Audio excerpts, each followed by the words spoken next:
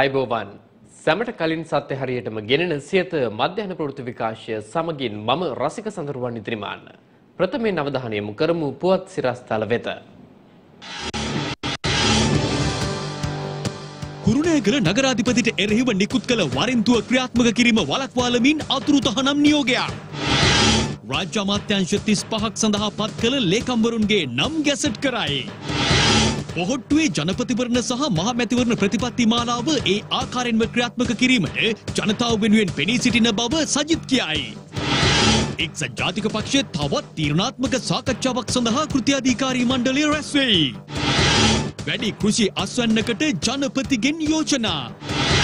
ලොව වේගවත්ම මිනිසාටත් කොරෝනා.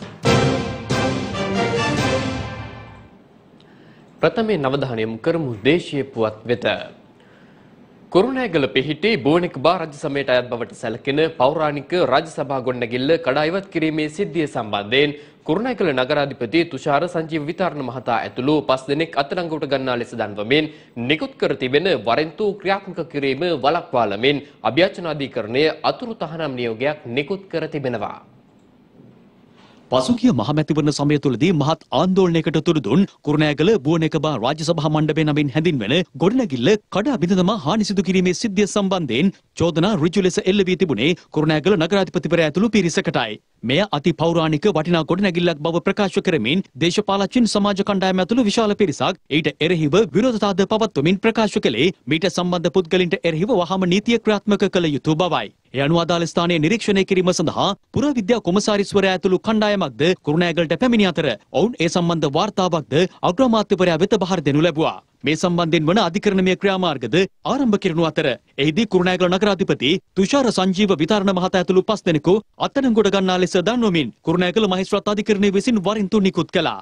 ඒ අනුව තමන් ඇතුළු පිරිස අත්අඩංගුවට ගැනීම වළක්වාලීමේ අතුරු නියෝගයක් නිකුත් කරන ලෙසට කුරුණෑගල නගරාධිපති තුෂාර සංජීව විතරණ මහතා පෙත්සමක් ඉදිරිපත් කළා. මෙම පෙත්සම සම්බන්ධ නඩු විභාගයේ තීන්දුව අද දින ප්‍රකාශයට පත් කෙරුණා. ඒ අනුව බෝනකපා රජසමයට අයත් බවට සැලකෙන පෞරාණික රාජ්‍යසභා ගොඩනැගිල්ලක් කඩා ඉවත් කිරීමේ සිද්ධිය සම්බන්ධයෙන් කුරුණෑගල නගරාධිපති තුෂාර සංජීව විතාරණ මහතා ඇතුළු පස් දෙනෙකු අත්අඩංගුවට ගන්නා ලෙස දන්වමින් නිකුත් කර තිබෙන වරෙන්තුව ක්‍රියාත්මක කිරීම වළක්වාලමින් අභියාචනාධිකරණය අතුරු තහනම් නියෝගයක් නිකුත් කළා. අභියාචනාධිකරණයේ සභාපති විනිසුරු HMD නවස් සහ සෝවිත රාජකරුණ යන මහතුරුන්ගෙන් සමන්විත අභියාචනාධිකරණ විනිසුරු මඩුල්ල විසින් මෙම නියෝගය නිකුත් කළා. ඒ අනුව වරෙන්තුව ක්‍රියාත්මක කිරීම වළක්වාලමින් පනවා තිබෙන තහනම් නියෝගය මෙම පෙත්සම් විභාගයේ අවසන් වන තුරු බලපැවැත්වෙන බවයි විනිසුරු මඩුල්ල අවධාරණය කළේ. ඒත් මෙම නියෝගය තුළින් මෙම සිද්ධිය සම්බන්ධ විමර්ශන සිදු කරන පොලිසියට හෝ ඊට සහාය වන මහේස්ත්‍රාත්වරයාගේ විමර්ශන කටයුතු වලට කිසිදු බාධාවක් නොමැති බවද විනිසුරු මඩුල්ල අවධාරණය කළා. පෙත්සම් කාර කුරුණෑගල නගරාධිපතිවරයා ඇතුළු පෙත්සම් කරුවන්ට අද හෝ හෙට දින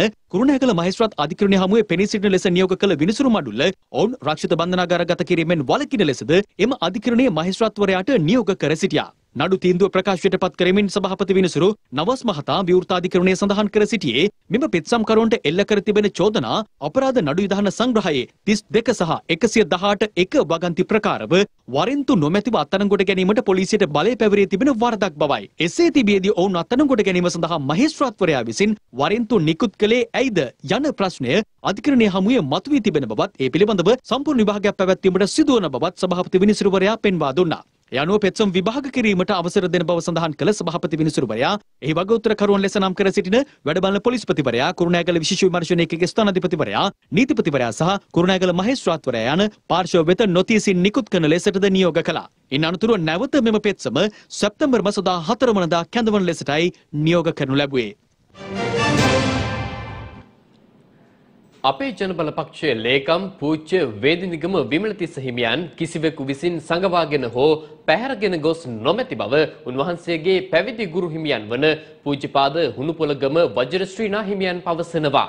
ඒ මාධ්‍ය වෙත අද උදෑසන විශේෂ ප්‍රකාශයක් සිදු කරමින් මේ සම්බන්ධ මට කියන්න තිබෙන්නේ විමදිස්ස හාමුදුරුව වේදිනේගම විමදිස්ස පොඩි හාමුදුරුව මගේ ශිෂ්‍ය භික්ෂුන් වහන්සේ කිසිම කෙනෙක් හංගල නැහැ. සමහරුන් කියනවා ඥානසාර හාමුදුරුව හංගුවා. සමහර අය කියනවා රතන හාමුදුරුව හංගගෙන ඉන්නවා. මේ සම්පූර්ණ අසත්‍යයක්. ඊයේ රාත්‍රියේ මට උන්වහන්සේ හමු වුණා. කැලණි ප්‍රදේශයේදී උන්වහන්සේ මට හම් වෙලා කතා කරලා කියනවා මගේ ආරක්ෂාව පිණිස දින කිහිපයක් සැඟවී සිටින බව. ඒ නිසා මම හැම දෙනාටම කියන්න කැමති වෙනවා විමදිස්ස හාමුදුරුව හංගවපු කෙනෙක් නෑ ඥානසාර හාමුදුරුව හරි රතන හාමුදුරුව හරි සමන් මහත්මය හරි මේ කිසි කෙනෙක් උන්වහන්සේ හංගවල නෑ. උන්වහන්සේ හොඳින් ඉන්න බවට මම උන්වහන්සේගේ ගුරුවරයා වශයෙන් මම හැම දෙනාටම මේ වෙලාවේ ප්‍රකාශ කරනවා. ඉතාම කනගාටුදායකයි මේ පොඩි ප්‍රශ්නය අල්ලාගෙන විශාල ආන්දෝලනයක් මේ රටෙත් වෙනවා. හැමදෙනාම බොහොම දෙනෙක් කියන්නේ හංගලා මරලා වසංගලා මේ මේ අනවශ්‍ය වචන රාශිය අන කියන එක විශාල කනගාටුදායක දෙයක්. මේට වඩා රටේ කතා කළ දේවල් තිබෙනවා. මේ එක ස්වාමීන් වහන්සේ නමක් අල්ලාගෙන විමලිස්ස පුඩිහාරු අල්ලාගෙන මේ රටේ නොයෙක් ජනමාධ්‍ය වලින් හා තවත් එක එක පුජ්‍යලයන් නානාවිද මත ප්‍රකාශ කිරීම ගැන මම කනගාටු වෙනවා. උන්වහන්සේගේ ගුරුවරයා වශයෙන් මට කියන්න තිබෙන්නේ විමලිස්ස හාමුදුරුවෝ යහතින් ඉන්නවා හොඳින් ඉන්නවා ආරක්ෂාකාරීව ඉන්නවා. මට උන්වහන්සේ ඕන වෙලාවක පුළුවන් පෙන්වා දීමට යම්කිසි අවස්ථාවක් ආපෙලාවක්. නමුත් උන්වහන්සේ කියනවා උන්වහන්සේගේ ආරක්ෂාව පිණිස ධම්ම එළියට එන්න බෑ ළඟදීම එළියට එළියට එනවා කියලා. එතරම් මට කියන්න තිබෙන්නේ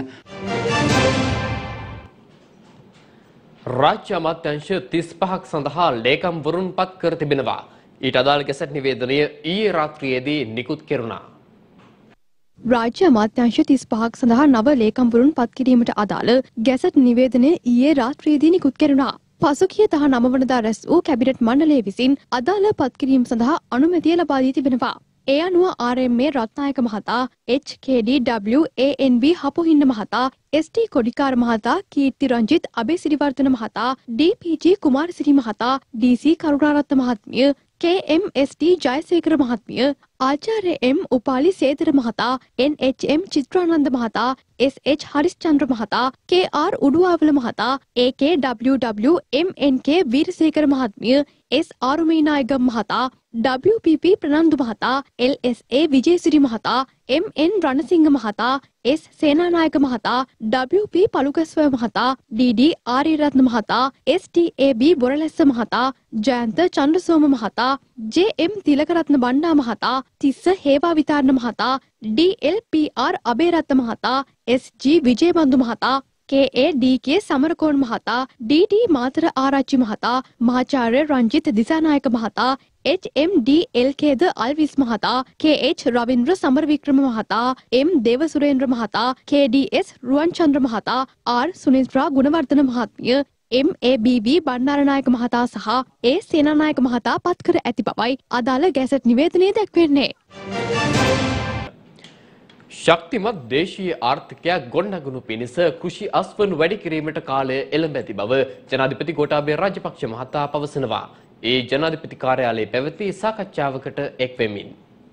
වී හා ධාන්‍ය කාබනික පොහොර එළවලු පළතුරු මිරිස් ලූණු හා අර්ථාපල් වගා ප්‍රවර්ධනය බීජ නිෂ්පාදනය හා උසස් තාක්ෂණික කෘෂිකර්ම රාජ්‍ය අමාත්‍යංශයේ ඉදිරි සැලසුම් පිළිබඳව ඊයේ පස්වරුවේ ජනාධිපති කාර්යාලයේදී සාකච්ඡාවක් පැවැත්වුණා. ඒ ජනාධිපති ගෝඨාභය රාජපක්ෂ මහතාගේ ප්‍රධානත්වයෙන්. ශක්තිමත් දේශීය ආර්ථිකයක් ගොඩනගනු පිණිස කෘෂි අස්වැන්න වැඩි කිරීමට කාලය එළඹ ඇතැයි පෙන්වා දුන් ජනාධිපතිවරයා ඒ සඳහා යෝජනා රැසක් ඉදිරිපත් කළා. කොවිඩ් වසංගතය හේතුවෙන් බිඳ වැටමින් පවතින සෙසු රටවල ආර්ථිකයන් නිරීක්ෂණය කොට දේශීය කෘෂි ආර්ථිකය ශක්තිමත් කිරීමේ වැදගත්කම ජනාධිපතිවරයා මෙහිදී අවධාරණය කර සිටියා. බීජ සහ පැල නිෂ්පාදනය පොහොර භාවිතය කෘෂි නවෝත්පාදන පරීක්ෂණ ගබඩාකරණය සහ ප්‍රවාහනය යන සීලු ශේෂ්ත්‍ර කෙරෙහි අවධානය යොමු කරමින් ඉදිරි වසර දෙක තුළ අභියෝගගත ඉලක්ක සපුරාගත යුතු බවයි ජනාධිපතිවරයා මෙහිදී ප්‍රකාශ කර සිටියේ. එසේම බීජ සහ පැල නිෂ්පාදනයට නූතන තාක්ෂණය උපයෝගී කරගත යුතු අතර ඊට අවශ්‍ය පරීක්ෂණ සිදු කිරීමේ වැදගත්කමද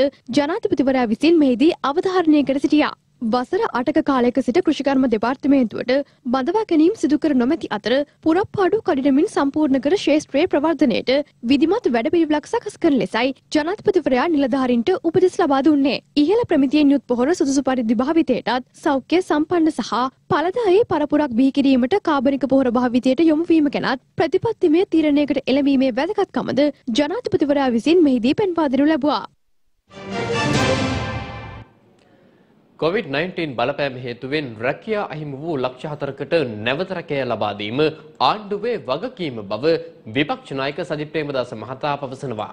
ඒ බොරැල්ල ප්‍රදේශයේ පැවති ජනහමුවකට එක් වෙමින් විපක්ෂයේ කාර්ය භාරය ශක්තිමත් ඉෂ්ට කරමින් ඉන් පිටතදී ජනතා හඬ නියෝජනය කරමින් බලයක් නැති වුවත් කරන්ට පුළුවන් සුළු හෝ ජනතා සේවාව නොපැකිලිව නොපිරිහෙලාම ඉෂ්ට කරන්නට සැදී පැහැදී සිටිනවයි කියන එක මම මේ අවස්ථාවේ තාමත් සතුටින්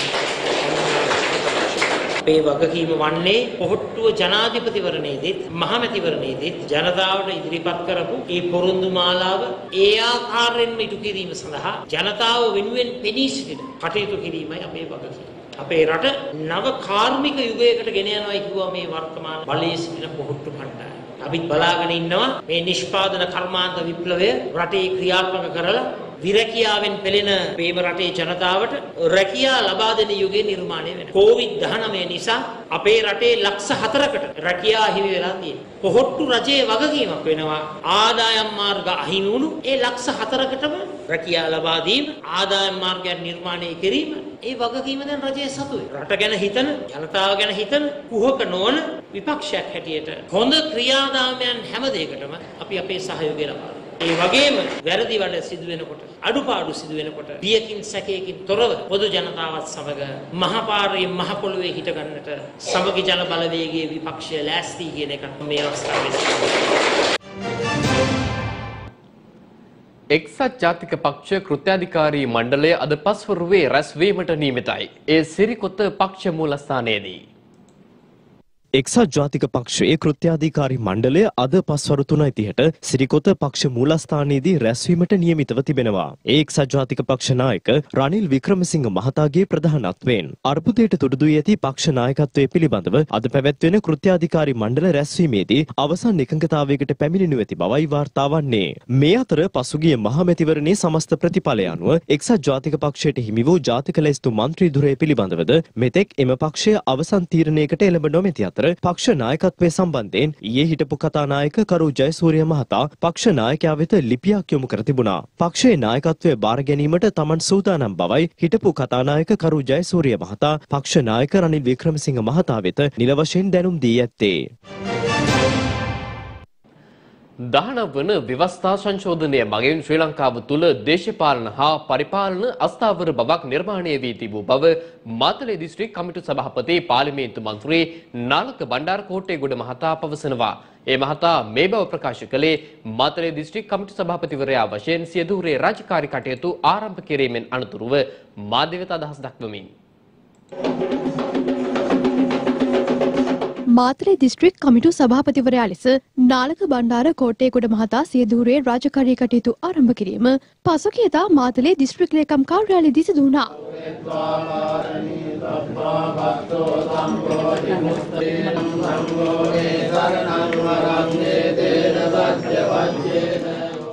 හරහා මේ රටේ දේශපාලනය සහ පරිපාලනය අස්ථාවර කරලා තියෙනවා. විශේෂයෙන්ම රට වෙනුවෙන් තීන්දුව తీරන ගැනීමේදී රටේ බලය කඳවුරු දෙකකට බෙදලා කිසිම නායකයෙකුට තනි තීරණයක් ගන්න බැරි තත්ත්වයක් මේ රටේ ඇති කරලා තියෙනවා. අපි දැක්ක පහුගිය කාලේ පාස්කු ප්‍රහාරය වෙලාවේ එම ප්‍රහාරය වළක්වා ගන්න තනි තීරණයක් ගන්න බැරුව කම්බැලියකට පත් උනේ. එක හේතුවක් තමයි මේ 19 වෙනි සංශෝධනය. ඔබ පහුගිය දවස්වල ප්‍රවෘත්ති දැක්කනම් ඔබට තේරුම් ගන්න පුළුවන් මේ රටේ තිබ්බ ආරක්ෂක තත්ත්වය කොච්චර දුර්වලද කියලා. එම නිලධාරීන් ඒ කොමිසම හමුවේ දෙන උත්තර දැක්කහම අපේ රටට බෝම්බ බෝම්බ 6ක් ගහපු එක ඇති. ඒගොල්ලෝ දැනගෙන හිටියනම් මෙච්චර දුර්වලයි කියලා බෝම්බ 60ක් ගහනවා. ඉතින් ඒ වගේ දුර්වල ආරක්ෂක තත්ත්වයක් තමයි අපේ රටේ තිබිලා තියෙන්නේ. ඒක නිසා අනිවාර්යයෙන්ම අපි 19 වෙනි සංශෝධනය ඉවත් කරලා 20 වෙනි සංශෝධනයක් ගෙනල්ලා මේ රටට ස්ථාවර පාලනයක් ගෙන යන්න පුළුවන් ව්‍යවස්ථාවක් අපේ රටේ ස්ථාපනය කළ යුතුයි. මෙරට COVID-19 වෛරසය ආසන්දනය වූ රෝගීන් 6 දෙනෙකු පිළිබඳව ඊයේ දින තහවුරු වුණා. යනුව මෙරට සමස්ත COVID-19 ආසාදිතයන්ගේ සංඛ්‍යාව 2959 දක්වා ඉහළ ගොස් ඇති බවයි වසංගත රෝග විද්‍යා ඒකකය සඳහන් කළේ.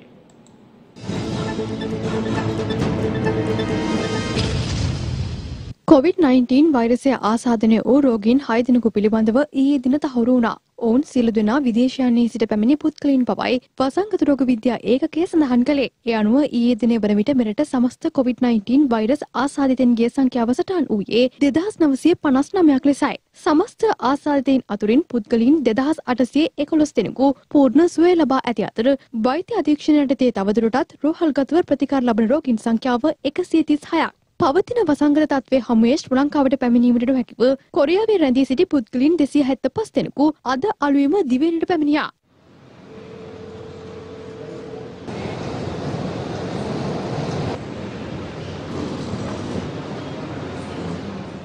ඉන් අනතුරුව ඔවුන් PCR පරීක්ෂණ සඳහා යොමු කිරුණු බවයි අප ගුවන්තොරපොළ වාර්තාකරු සඳහන් කළේ. මේ අතර ඊයේ දිනේ වන විට මෙරට තුළ PCR පරීක්ෂණ එක්දා සත්සය අසුවක් සිදු කර ඇති අතර මේ වන විට ශ්‍ර ලංකාව තුළ සිදු කර ඇති සමස්ත PCR පරීක්ෂණ සංඛ්‍යාව දෙලක්ෂ අටදහස් තුන්සිය අනු හතක් පවයි COොVID-19 පැතිරීම වැලක්වීමේ ජාතික ක්‍රියන්විත මධ්‍යස්ථානය නිවේදනය කළේ. ලොව පුරා COොVID-19 වෛරසය ආසාධනය වුවන්ගේ සංඛ්‍යාව දෙකෝටි තිස් හත් ලක්ෂ ඉක්මවා ගොස් තිබෙනවා. වෛරසය හේතුවෙන් ජීවිතක්ෂයට පත්ව ඇති පුද්ගලින් සංඛ්‍යාව අට ලක්ෂ දාහත් දහස ඉක්මවා ගොස් ඇති බවයි විදෙස් මාධ්‍ය වාර්තා කළේ. මේ අතර ලොව වේගවත්ම ක්‍රීඩකයා වන උසේන් පෝල්ටද COොVID-19 වෛරසය ආසාධනය වී ඇති බව විදෙස් මාධ්‍ය වාර්තා කරනවා.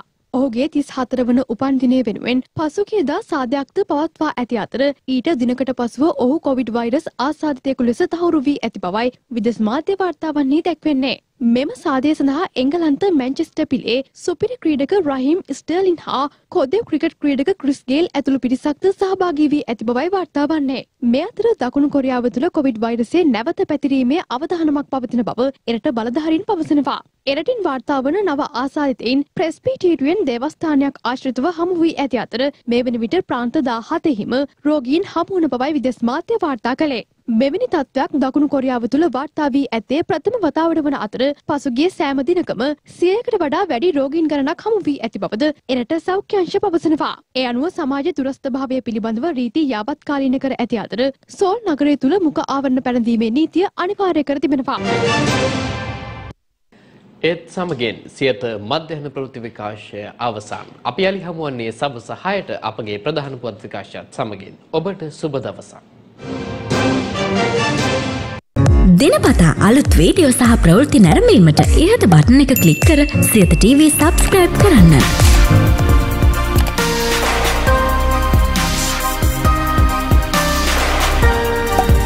අලුත් වීඩියෝ ගැන මුලින්ම දැනගන්න මෙම සීනුව ක්ලික් කරන්න.